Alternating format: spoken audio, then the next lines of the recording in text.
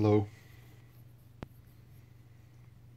Just wanted to make a quick video about several books that I happen to have on my person. And uh,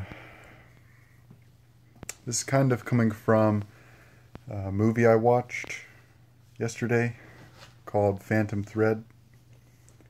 It's Paul Thomas Anderson's new movie with uh, Daniel Day Lewis as the main guy, and it had uh, had many interesting aspects to it. And um, when I was watching the movie, I got feelings of. Uh, I thought of the recognitions. I thought of uh, James Joyce. I thought of Kurt Gödel. And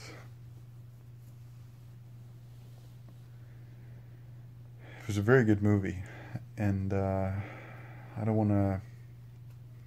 I think everyone should watch the movie, but I'm going to go into it a little bit. So, the reason I thought of them is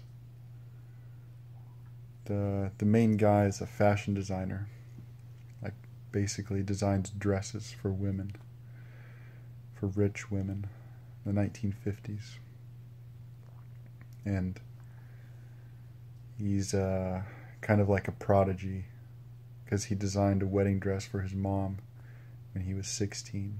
That's one of the beginning storylines. And it made me think of the recognitions because the main character in there is a painter and he's really good when he's young. And he is excellent on his own, uh, like in his own right, and then when he goes to, um, yeah, it's Paris. It must be Paris to start off with. And he tries to get famous and become a good painter. He gets destroyed by a greedy critic. And then he makes fakes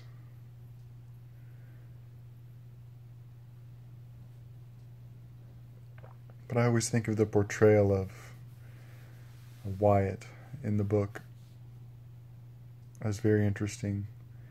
And uh, yeah, one thing I've thought about there's something special about first books.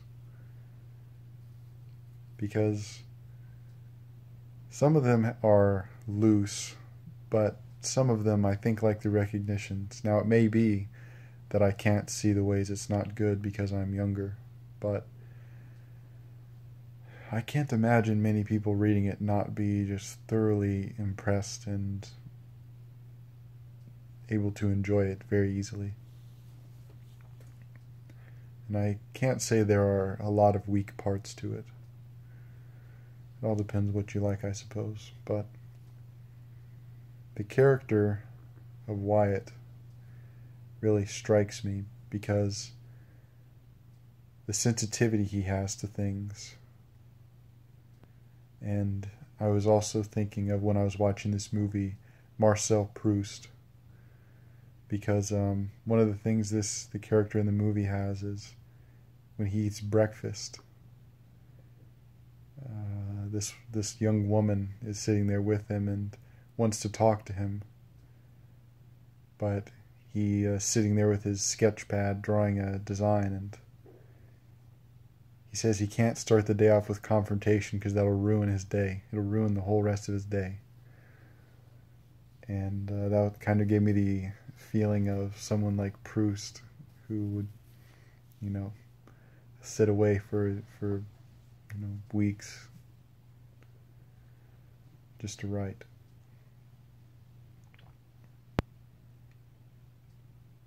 Hmm.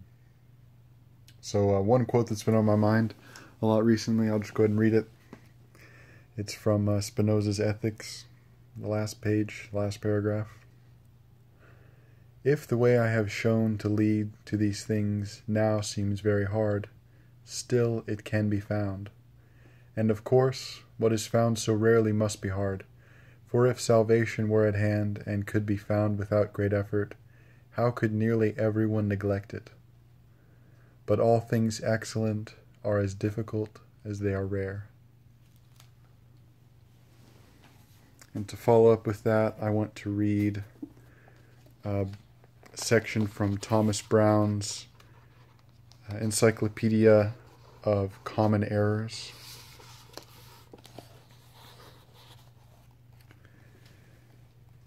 And uh, this is from chapter 3. Of the second cause of popular errors, the erroneous disposition of the people. Having thus declared the fallible nature of man even from his first production, and have beheld the general cause of error.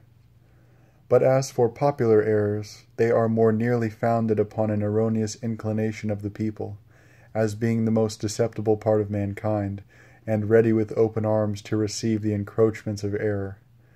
Which conditions of theirs, although deducible from many grounds, yet shall we evidence it but from a few and such as most nearly and undeniably declare their natures.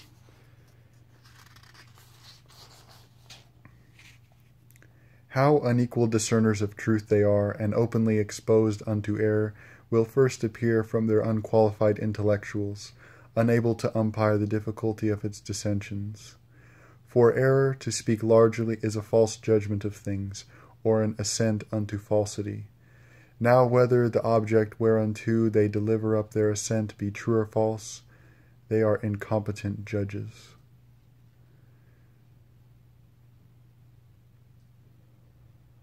For the assured truth of things is derived from the principles of knowledge and causes which determine their verities, whereof their uncultivated understandings, scarce holding any theory, they are but bad discerners of verity and in the numerous track of error, but casually do hit the point and unity of truth.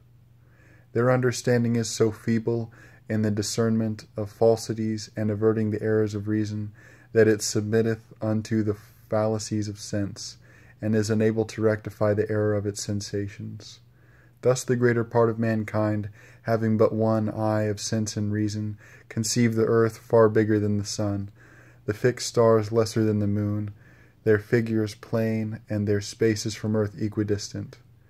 For thus their sense informeth them, and herein their reason cannot rectify them, and therefore hopelessly continuing in mistakes, they live and die in their absurdities, passing their days in perverted apprehensions and conceptions of the world, derogatory unto God and the wisdom of the creation.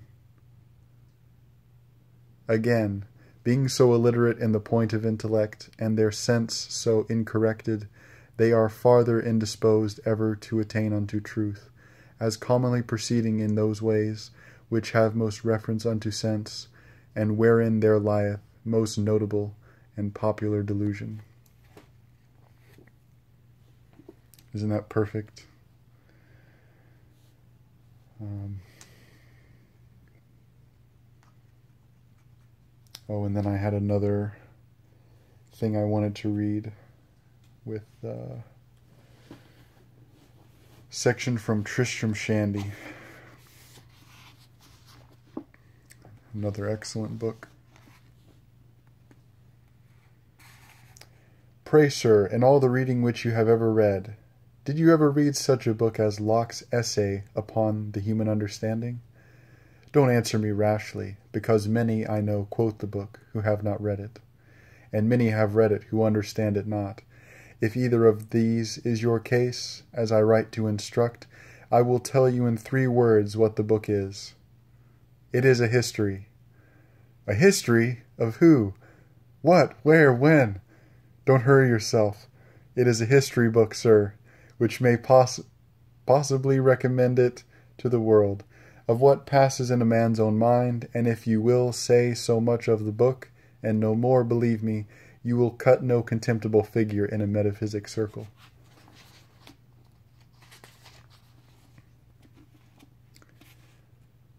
But this, by the way. Now, if you will venture to go along with me and look down into the bottom of this matter, it will be found that the cause of obscurity and confusion in the mind of a man is threefold. Dull organs, dear sir, in the first place. Secondly, slight and transient impressions made by the objects when the said organs are not dull. And thirdly, a memory like unto a sieve, which able to retain what it has received. Which, what, what, what did I just read? And thirdly, a memory like unto a sieve, not able to retain what it has received. You'll have to pardon me for that. Call down Dolly, your chambermaid, and I will give you my cap and bell along with it, if I make not this matter so plain that Dolly herself should understand it as well as Malebranche. When Dolly has indited her epistle to Robin, and has thrust her arm into the bottom of her pocket hanging by her right side, take that opportunity to recollect that the organs and faculties of perception can, by nothing in this world, be so aptly typified and explained as by that one thing which Dolly's hand is in search of. Your organ, your organs are not so dull that I should inform you. Tis an inch, sir, of red seal wax.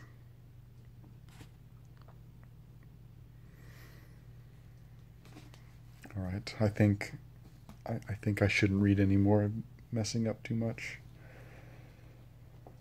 But uh, the thing, the reason in the movie I thought of Gödel and Joyce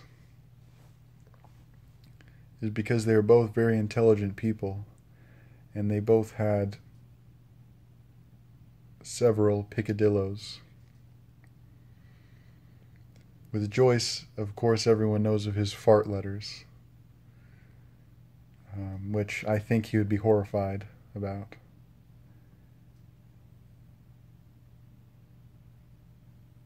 and with Gödel, the interesting thing is he was, of course, uh, uh, mathematical genius, philosophical genius, but he also married a woman who was a dancer. And uh, Stefan Zweig writes of Vienna in the 1920s that any man could have a, a dancer for a night for 200, I think, uh, shoot, what did they use? I can't remember what money they used in uh, Vienna at the time. Was it marks? Shoot. I know that was Germany, but anyway. And uh, I've always thought that was the most interesting thing about Gödel, rather than his philosophical genius or mathematical genius. I would like to understand why he loved her and he actually died because she got sick and he wouldn't eat food prepared by anyone else. People say because he was feared poison, but I'm not sure if that's it. But I think it's just amazing that you know, someone that intelligent who wrote his completeness and incompleteness theorems when he was 25. He was 25 years old. He died of starvation. And I also always think of his walks with Einstein at the Institute for Advanced Study at Princeton. Could you imagine what they talked about? Closed, time like curves, probably talked about music. And there's a funny uh, anecdote about John von Neumann from the same time that he was at the Institute for Advanced Study and he would always play extremely loud German march music. And it would annoy his fellow, I guess, workers, which Einstein was one of them. I think that's so hilarious.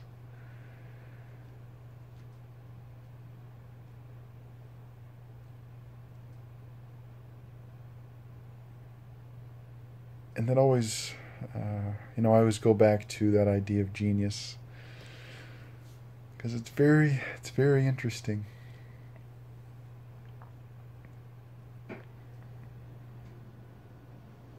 And I was thinking about uh, someone left a comment on one of my recent videos of a friend they had who would walk and have um, very clear images in their head. Like uh, almost hallucinations. And I think that's very interesting. Hmm.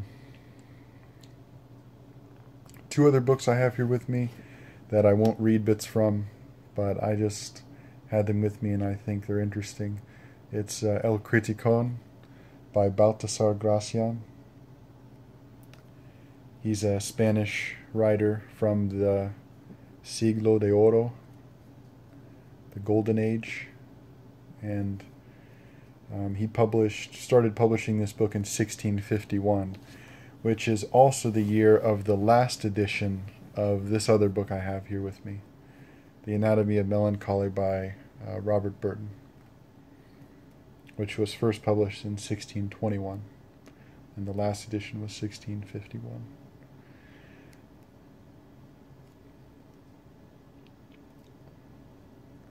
These are really most of my favorite old books.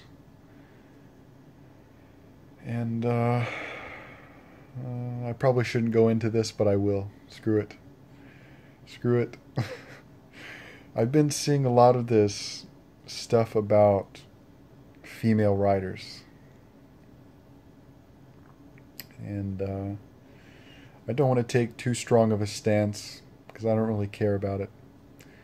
But I did get in an argument on uh, Reddit a couple months back.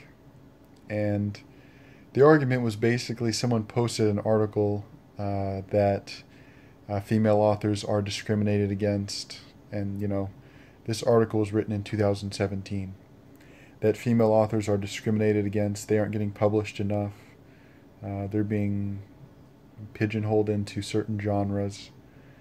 Um, you know, stuff like that. Like, basically ridiculous stuff in today's age. And, uh, you know, their, their main uh, evidence was J.K. Rowling, you know, with, who published 30 years ago. So that's ridiculous, you know, just a stupid article. And I called it a stupid article. And um, a woman responded to me asking why I was afraid of women being published more. And I thought that was such a stupid thing to say. So I said, I'm not afraid of women being published more. I said, the only thing I'm afraid is of dumb people being published more. and I think, you know, of course, I was just trying to be provocative, but it's true. Because the thing I care more about, not necessarily dumb or smart people, but good writing being published more. And that seems to me the thing that's prejudiced against. You know, if you pick up a random book, it's very unlikely that it'll be good. Given by the uh, quote by Spinoza I read, given by the quote by Thomas Browne I read, given by the current state of the recognitions. I looked at, oh yeah, yeah, what I looked at was um, so on Goodreads, the Recognitions has, I think, like 4,000 reviews, which really doesn't mean anything. But Finnegans Wake has 10,000, which means even less. And that just baffles me because I was really, I was enjoying, uh, you know, Paperbird's recent video. So it made me pick up Finnegans Wake and read it a little. And uh, yeah, I like it, but whatever. I'll probably read it when I'm 60. But I was looking at these reviews of Finnegans Wake by these dingbats. You know, they didn't understand it at all.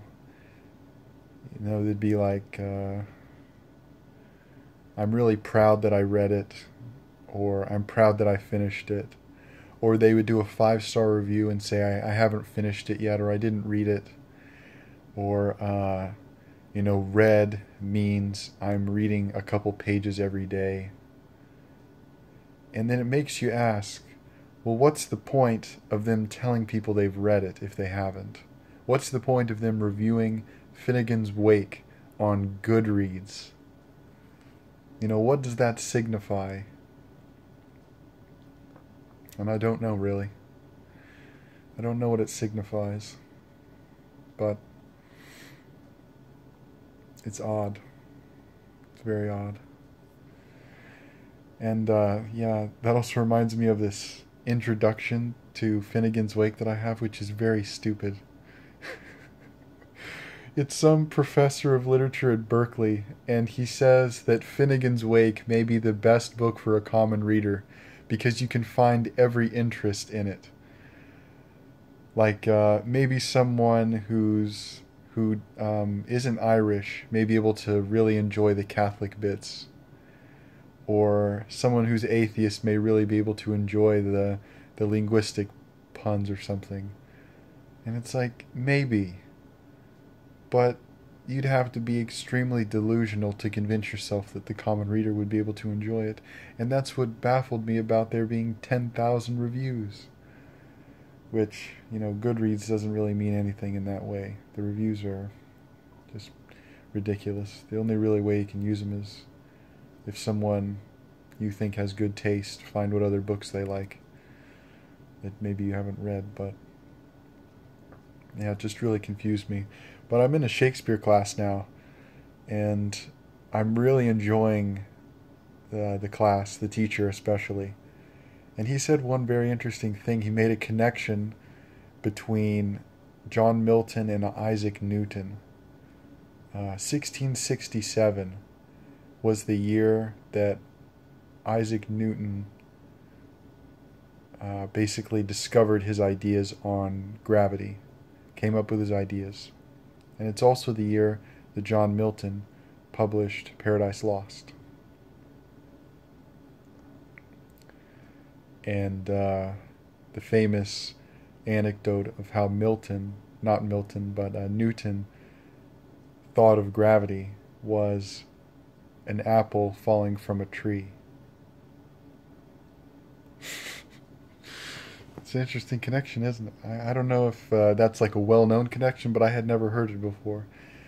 Although I don't know hardly anything about Milton.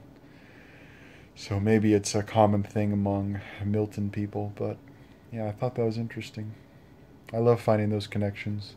Just like uh, uh, Natalie mentioned, uh, a, book, booktuber she had found this, uh, I guess, YA book that mentioned a short story by Edgar Allan Poe, and then this Edgar Allan Poe short story mentioned a novel written in the mid 18th or 19th century about a atheist.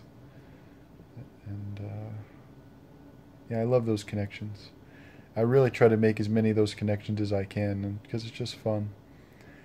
But I don't think they actually mean anything. Hmm. Yeah, I guess uh, I'll end this video